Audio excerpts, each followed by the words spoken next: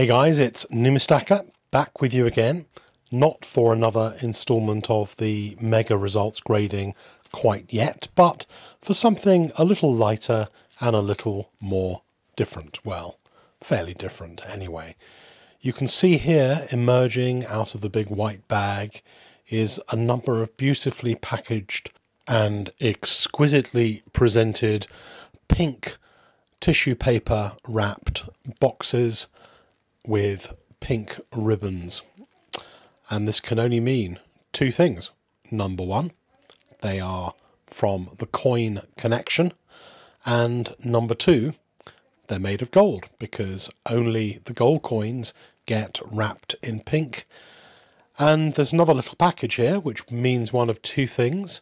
Either some coins are inside that package that belong in these boxes, uh, or it could mean that uh, Coin Connection have included another little present for Numistacker. How nice is that? It's a little bit like a pink version of Christmas here at Numi headquarters. And uh, you can see here, peeking through the pink tissue paper is the word innovation and science. And I know exactly what that means. It means that the coin inside here is the Stephen Hawkins um, gold 50 pence. Uh, this coin is the first coin in the series of what will be a longer series, although I'm not sure at this stage how many coins there will be. But um, and it features the black hole a subject which I'm sure the Royal Mint found incredibly difficult to design onto an interesting uh, 50 pence piece. The uh, a few marks here and scuffs on the box, and uh, I did find out later that this box is being replaced by the Royal Mint because uh, it's being replaced with a pristine one without the little marks on it, which is very nice. Um, presentation, you've seen before the kind of presentation they have for these gold 50 pence pieces. It's like a kind of larger version of the presentation they have for the Sovereign. So you get a um, a flyer, I guess, a pull-out flyer, giving the background on the black hole. Uh, I did actually unbox one of these a few weeks ago and went through this leaflet in a bit more detail, so I'll kind of skip over that, but it is in the previous video if you want to go ahead and have a look at it. We'll take a look in the box.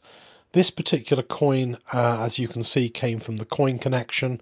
The one I had previously came directly from the Royal Mint, and the coin connection uh, did actually receive one of these uh, for me from the Royal Mint, but it needed to be sent back because it had marks on and the coin connection were not happy with its level of quality.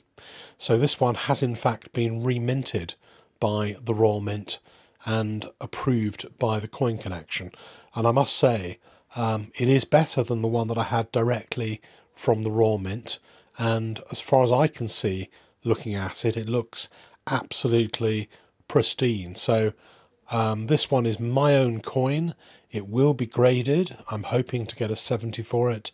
I don't think it even needs conservation by the look of it. Here's one that somebody else bought a few weeks ago, and you can see they weren't happy with it. You can see that inside some of the fine lines there were slight damage to the frosting, and I think this particular design in frosting has proved very difficult to mint.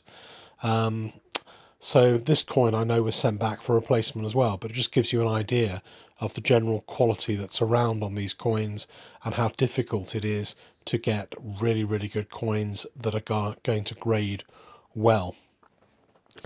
So back to my Stephen Hawking coin. Um, take another quick look at it before it's um, taken out of its uh, its capsule and prepared for grading by being put in a flip. Nice to see a QC number on the capsule, so somebody has actually hand um, quality control this coin. So if you see one of those stickers, it means that it's actually received personal quality control by a particular inspector as being up to standard, which is very nice to know. Um, there's been a number of offers over the last few months for uh, some money back for purchases at the Coin Connection. I'm pleased to say that I have negotiated another uh, month of offers, uh, and it may continue after that with different codes from the Coin Connection. If the Easter Bunny is carrying coins for your collection this Easter, then why not save an extra 2% on anything you buy till the 30th of April 2019?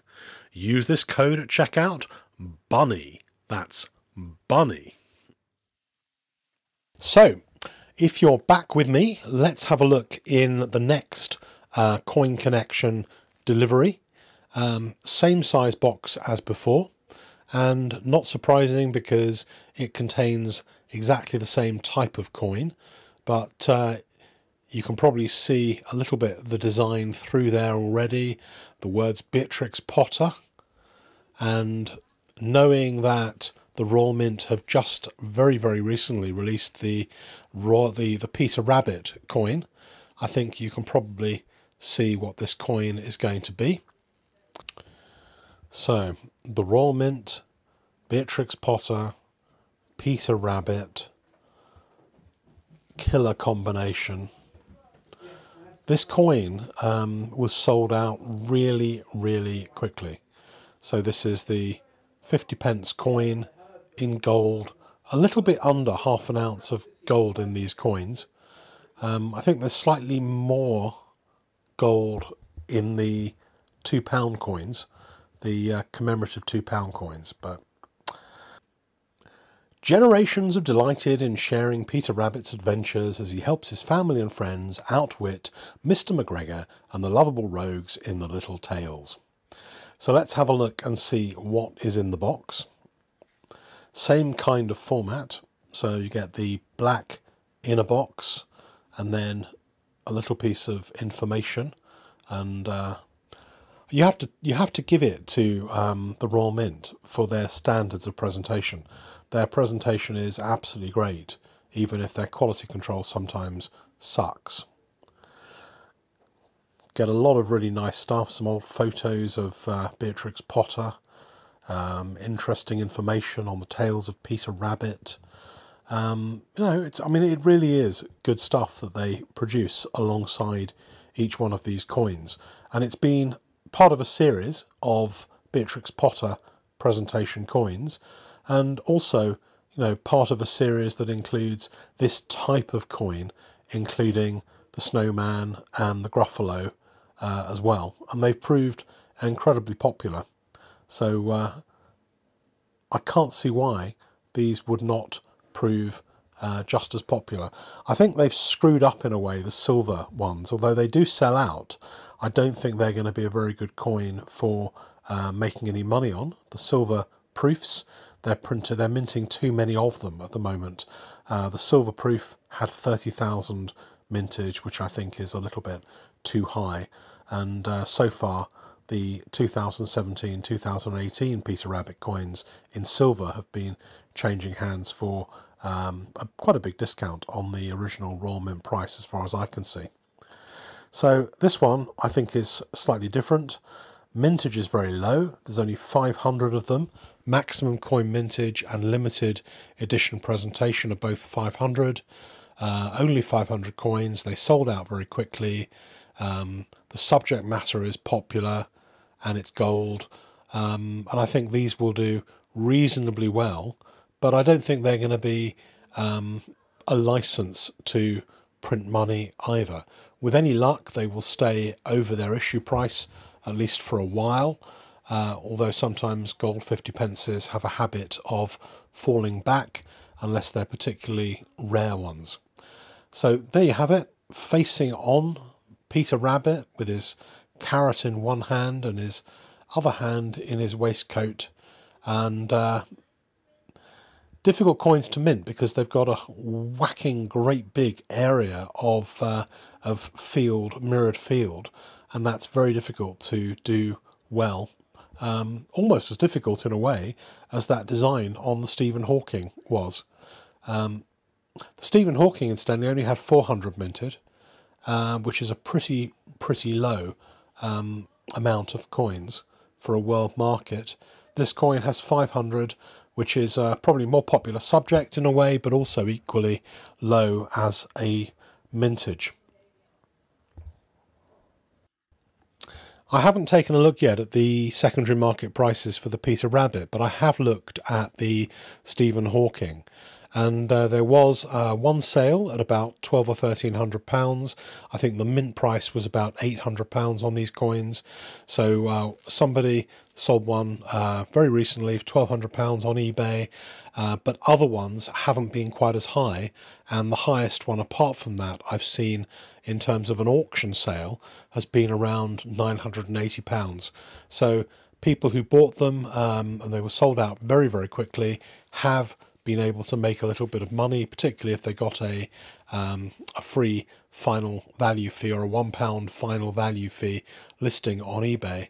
But um, it's you know the it is not um, a an instant guarantee of flippable profit, but uh, they are nice coins, and with any luck, they should be a reasonable buy over a period of time. Um, now we come to the little white mystery envelope, and the question is, uh, what is it? And uh, is it a present for Numistacker? Well, the suspense is a killer. It's another little envelope, and what's going to be inside it? Maybe uh, a small bar of chocolate, some sweeties, some gold coins. Who knows? It feels, I must say, just like gold coins. So it's a Yale. Uh, it's a Yale of Beaufort.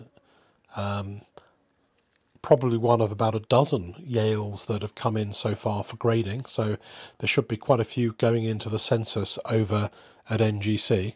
Not a present for me this time, but, the, but a couple of Yales for grading.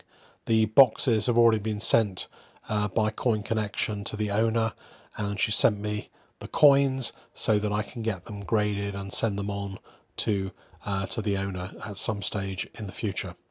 So hope you enjoyed that uh, break from the mega grading video. Normal service for the mega results will be resumed after this one. Please like, subscribe and comment above all.